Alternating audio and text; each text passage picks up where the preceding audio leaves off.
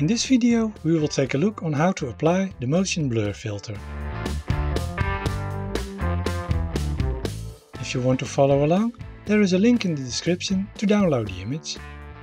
We will start by making a selection of the motorcycle.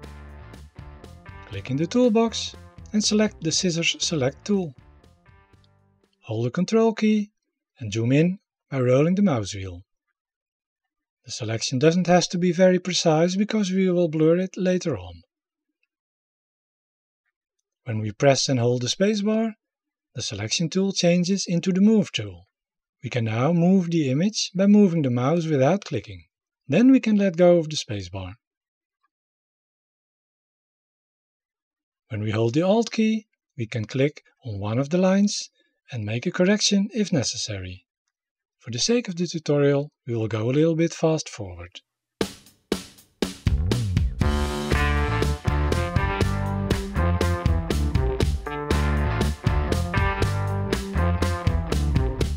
We have to place our last selection point inside the first selection point, and then we can hit enter to make the selection. Go to view, zoom and then fit image in window. Click edit and then copy to copy the selection. Go back to Edit and click Paste. We now have a floating layer in the Layer panel. Right-click on the floating layer and click to New Layer. Right-click on the new layer and click Layer to Image Size. Make the bottom layer invisible by clicking on the eye, but make sure the top layer is still selected. Go to Filters, Distorts, and then Wind. When we click and hold on the little cross with the four arrows, we can move the image in the preview window so we can see the effect. Set the style on blast and the direction on right. We can leave the edge affected on leading. Make the threshold 0 and the strength 100, which is the maximum. Click OK. Go back to Filters and click Blur and then Motion Blur. Make the selection visible in the preview area. Leave the blur type on linear, put the length on its maximum, and make the angle 0 so the effect is horizontal.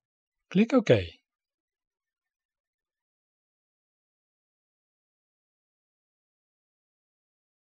Make the bottom layer visible again by clicking the eye and make sure the top layer is still selected.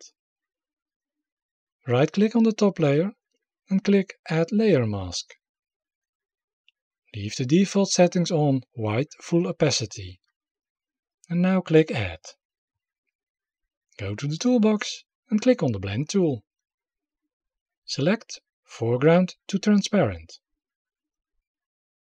Click and hold in the right part of the image and draw a horizontal line to the left. Let go of the mouse to apply the gradient. We can hit Ctrl Z to undo this action and make a new line. And we can do this again and again until we are satisfied with the result. Click the Crop tool. Leave the default settings as they are. In the top and the bottom of the image are some distracting areas. When we remove these, the image will look even faster. Hit enter or click in one of the corners to apply.